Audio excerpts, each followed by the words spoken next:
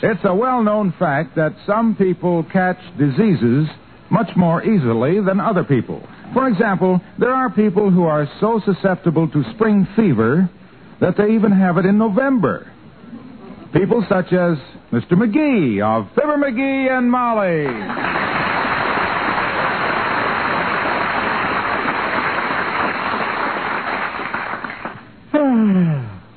My goodness, mm. dearie, all you've done this morning is yawn. I hope it's not the company. No, it's just me, kiddo.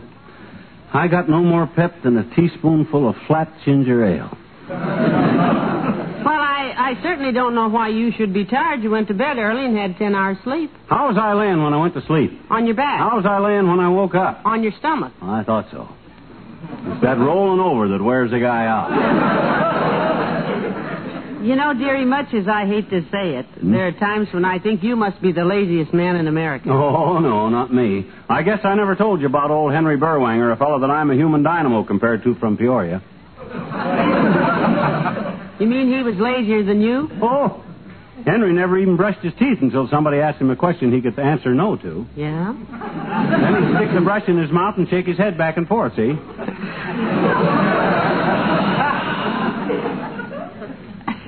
well, I'm sorry you picked today to try for his championship. I need your help around the house. What kind of help?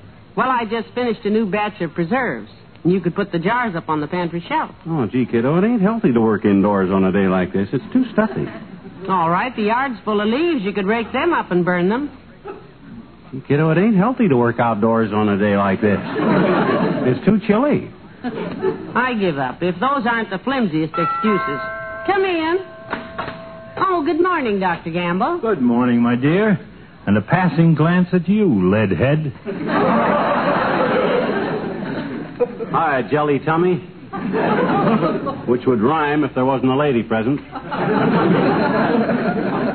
Would you like a cup of coffee, Doctor? There's still some on the stove. Oh, thanks, Molly, but I just had some at the McGregor's house.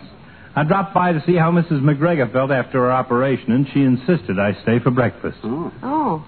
Say, uh, I thought you operated on her three months ago. it's almost four months.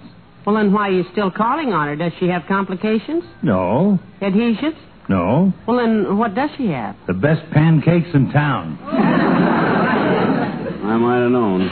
You're the only doctor I know who spaces his house calls, so he always gets there just at mealtime. Who keeps your appointment book, Duncan Hines?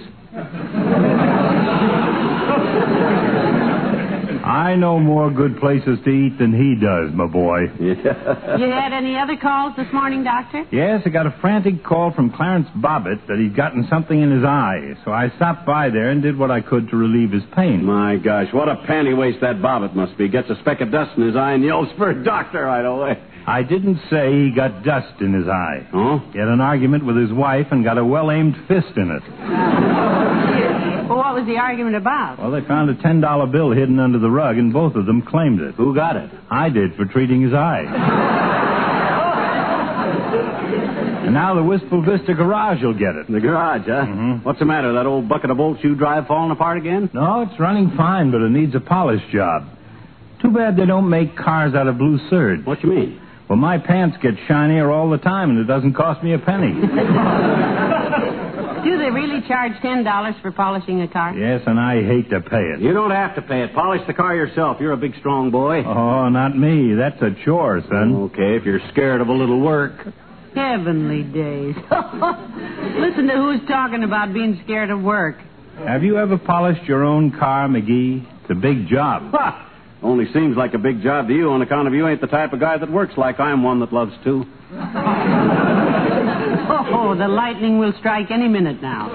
I still say you couldn't polish a car. Oh, yeah, well, I'll bet you a buck I can polish. I'll bet you a buck I could do it blindfolded. Are you serious? Sure. Then put your money where your mouth is. Huh? Well, there isn't enough money in town to fill that wind tunnel. You're betting me a buck I couldn't polish my car with a blindfold on? Right. It's a bet. This'll be the easiest buck I ever made in my life. McGee, are you actually going through with this? All the way. Bring me the car polish and some rags out of the storeroom, kiddo. And bring an extra rag to blindfold me with. All right, dearie, if you insist. Well, winning this bet from you is going to be a cinch, Fatso. I ought to call the Poultry Raisers Gazette and tell them about this. The Poultry Raisers Gazette? Yeah, I got myself a 300 pound pigeon, boy. still, McGee. I want to put an extra knot in this blindfold. Well, put all the knots in it you can tie, Elephant Boy. I'm going to win this bet fair and square. Oh, sure, sure. Well, Hmm. can you see anything? No, no, no. Not a, not a glimmer. Boy, I might as well be standing in a coal mine at midnight trying to hit a black cat with a handful of licorice.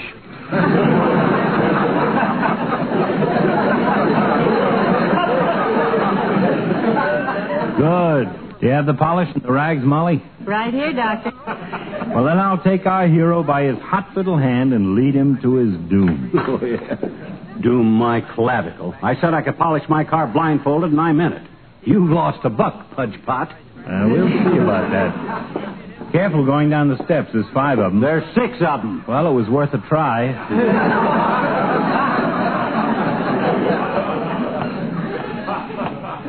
You know, it isn't too late to call the whole thing off, dearie. What? Call off the cinchest bet I ever made in my life? Don't be knave, Tootsie. Don't be knave.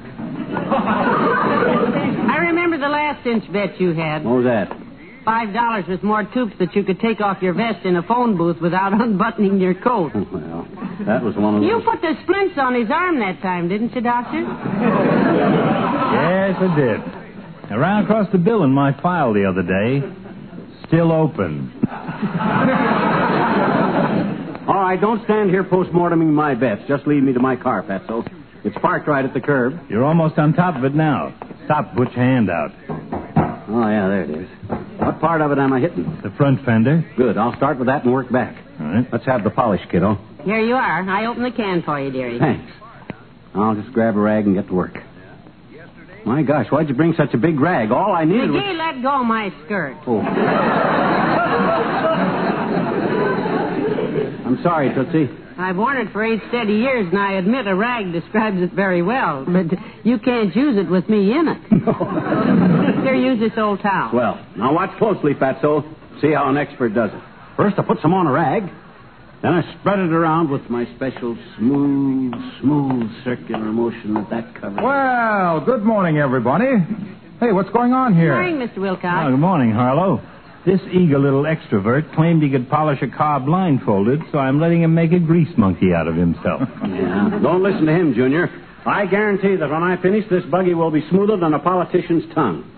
Well, looks like a slow job, pal. I hope you're through by day after tomorrow. Mighty important day, you know. Oh, of course, Thanksgiving Day. Ah, what a great occasion it'll be. This year, we have a special extra reason for being thankful. What's the special reason? asked little Fibber, feeling somewhat like Abbott speaking to Costello. Well, this year, for the first time in many years, you can have all the Reynolds wrap you want. That Oh. wonderful aluminum foil that ensures a perfect Thanksgiving dinner. Hmm. Even with a blindfold on, I should have seen that one coming. Yes, your grocer has plenty of Reynolds wrap now. In the standard 25 foot rolls or the new jumbo economy 75 foot rolls. I uh, even wrote a little poem about the ways it can be used on Thanksgiving. You uh, care to hear it? What could I say to stop you? Nothing. I thought so. Well, I call it Be Thankful for Reynolds Wrap. Thankful for Reynolds Wrap. Yes, yes. It goes like this Be thankful for Reynolds Wrap, in which you can roast your turkey, including the gizzard and the liver. It keeps the meat from shrinking and also keeps in all the delicious flavor. I'm glad Thanksgiving is two days off. This would kill my appetite. When you bake your Thanksgiving pies, there's a sure way to take the trouble out. Just put Reynolds Wrap under the plates to catch the rich juices when they double out. Here, you could use a blindfold too, Junior, around the mouth. Now, wait a minute, wait a minute. When dinner is done, you can keep the leftovers fresh in Reynolds Wrap, and they'll make many a tasty dish, such as turkey croquettes and turkey soup, and large portions of turkey hish. well, that's it, pal. Not bad, eh? But, Junior, I can answer that best with a poem of my own. Yeah? Poets are supposed to suffer and write on busted pine tables because they can't afford mahogany. But when Wilcox is the poet, it's the people who have to listen that suffer all the agony.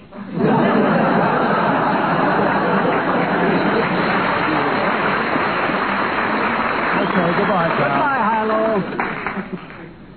You better get back on the job, McGee. Don't worry. While you were gabbing, I was rubbing away.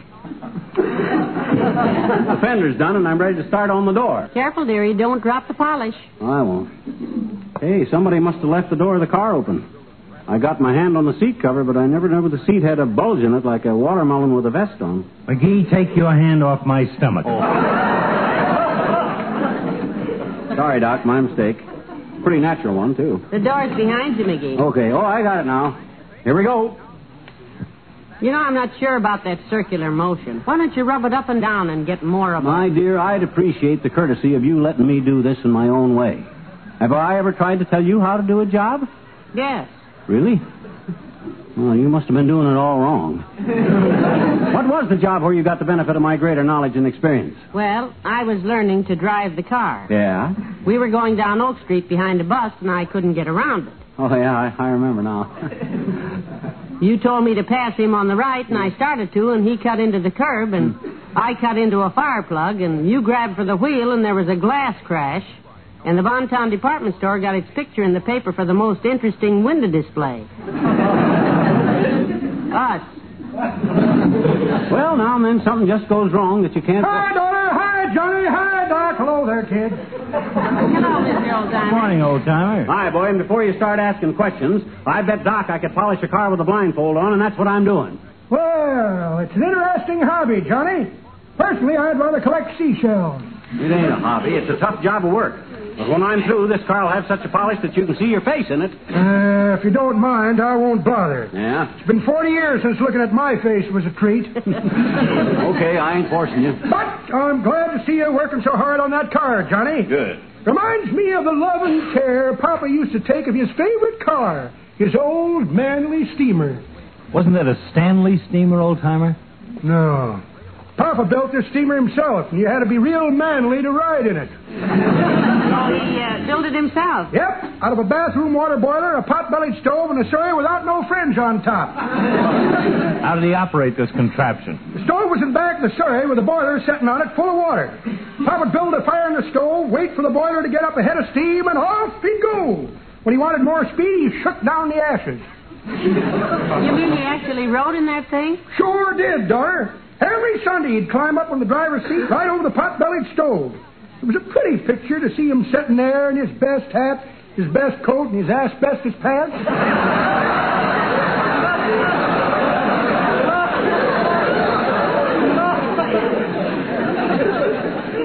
Just drove on Sundays, huh? Yep, spent the rest of the week cutting down trees for fuel. Luxury type car, and he only got three miles to a cord of wood. I bet he had a lot of fun, though. Yep, and he tried to make money with it too, Johnny. Yeah? Never will forget the time Papa entered the Manly steamer in an auto race. Well, how'd he do? How'd he do, son? Nice to see you, too. anyway, there were three prizes in this race, and Papa won them all. Won all three prizes? Yep. When they was getting close to the finish line, the Manly steamer blew up. Yeah? The water boiler finished first, the pot-bellied stove finished second, and Papa and the Surrey come in third.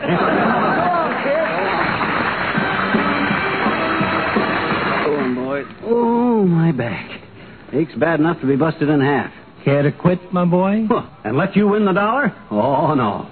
I've been polishing this car almost two hours now, and I'm going to finish the job if it fractures my sacro and permanently injures my liliac. Well, you're almost through, aren't you, dearie? All but the right rear fender. My gosh, will I be glad to get this blindfold off. I feel like something was, was raised by a family of gophers. There is a certain resemblance now that you mention it. Well, you won't have the blindfold on much longer, dearie. Just be brave. Don't worry. The thought of taking a buck from old hard loser Gamble, Wistful Vista's leading tightwad and well-known bad bet maker, will sustain me. My dear, but I wouldn't do this again for all the tea and bags. My arms are about to drop. Good afternoon, Molly. The doctor. Oh, good afternoon, Mr. Oh, hi, Latrivia. In case you didn't notice, I'm here too. And if you'd like to know what I'm doing, You're polishing the car because you could bet Dr. Gamble you could do it blindfolded. how'd you know? Simple. I thought of the most ridiculous thing a man could do, and it had to be right. Oh. One of your snippy days, huh? Hey, look, Molly, do you mind if I duck in the house and phone my office? Go right ahead, Doctor. Don't let him take that blindfold off or the bet's off. You're stuck and you know it, boy. What's new, Homer? Yes, we haven't seen you since the election, Mr. Mayor. Been busy, have you? Oh, yes, yes, just the usual after election headaches, Molly. Some of my campaign people worked very hard to get me reelected, you know, and I. It must have been an uphill fight all the way, boy. Yes, yes. you, uh, you know how it goes in politics. I made a few promises to my workers here and there, and now that I've been reelected, I have to pay the piper. What'd you promise him, Latripp? What did I promise? Who? The man who played the bagpipes, Mr. Mayor. You just finished saying you had to pay the piper. Oh, oh. I'm afraid you misunderstood. You must have put on some pretty flashy parade. you hired a guy just to play the bagpipes for you. After the Scotch vote, were you? No, no, no, no. Just a moment, please. There seems to be some confusion here. I Yeah. didn't hire any bagpiper to lead any parades for me at all. Do you understand that? Probably Oh. just had the man march up and down in front of the poles playing his pipes. Yes, that's. Yeah. No, no, no.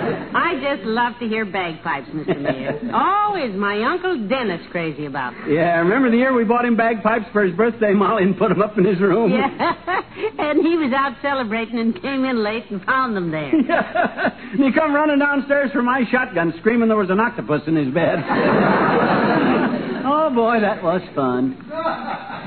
I'm sure it was. However, in my case, bagpipes had nothing to do with my reelection as mayor of this city. I simply ran on an honest Oh, platform. now, I wouldn't sell them short, Mr. Mayor. That's mighty exciting music. Betcha, when all the guys got to run on is your record, Latrivia. There's nothing like a burst of bagpipe music to distract the voters. I should say so. Beat their ears with those bagpipes a while, and they don't know who they're voting for. Yeah, but please, please, Molly McGee, will you just listen to me for a moment, please? Now, you listen to him, Molly. I'm blindfolded.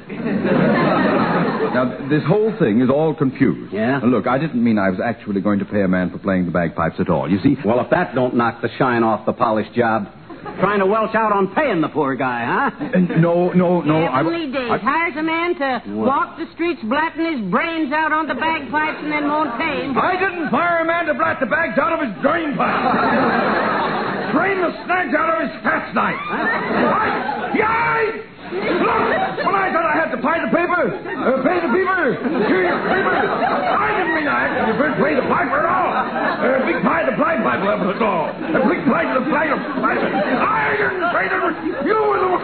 I was, Pay the piper.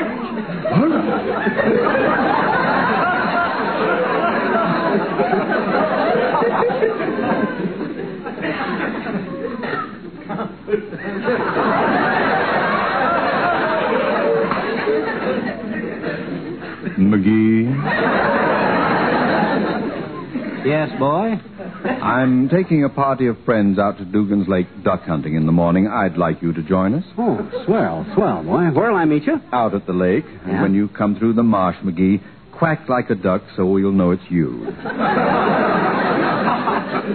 Okay, fine. We'll be waiting for you. Good day.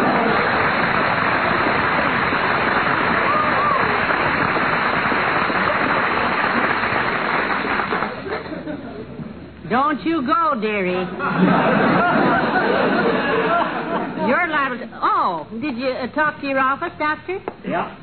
Uh, did your little cheater take his blindfold off? Not a peep, Doctor. He's just about finished, though. Yep. Just polished the last hunk of fender. Boy, I bet you I got the cleanest, shiniest car in town. How's it look? Absolutely beautiful. And probably better than the job Doc's going to pay ten smackers for. Well, how about it? Do I win, Fatso? You win, McGee. Good. Never thought you could do it. Hmm. Take off the blindfold and see how it looks. Yeah. My gosh, I'm so used to it, I forgot I was still learning. Now, off it comes. Ooh, I... oh, boy. That is a honey of a job. Boy, my back will be sore for a week, but it's worth it. If I can prove I... I... I... Hey, Yes? that's not my car. That's your car. I know it. Yours is parked over there. Why, you big fat double crosser, you. well, that's why you put the blindfold on me in the house. Stop beating. Why? You won the bet, and I'm happy to pay off, Why? especially since it saves me nine dollars. and you, kiddo. You. The wife I took for better, half or worse. you helped him bamboozle me. I did that. I thought you deserved a little lesson for not helping me with the household chores. Huh? Anyhow, there's no harm done. No harm done. You call it no harm when for a measly buck I busted my back and made myself a flunky for this lunkhead who ain't got the. Hey, wait a minute. What now? Is that the stuff you brought me to polish Doc's car with? Yes, that large can. There's no oh. label on it, but it was where you always keep the wax. Oh. oh, my gosh. I'm sorry, George. This Huh? is a dad ratted chain, you know what? With the blindfold on, I couldn't see what I was using. What do you mean? What's the matter? That ain't car polish. Huh? The filling station asked me to give that stuff a try. That's a new kind of paint remover. What? Paint remover? Yeah. You spread it on and leave it on for 24 hours, and then all the paint peels off. I'd have known. Oh, no. Get the hose. Get me some soap. Oh. Get a scrubbing brush. You had me blindfolded, I. McGee, the doctor's still trying to wash that stuff off his car. Well, let him. I ain't going to help him. Oh, this is terrible. I never dreamed it was paint remover in that can. It wasn't. That's the same polish I always use, kiddo. You mean Why, sure. You don't think I'd let old Fatso put one over on me, do you?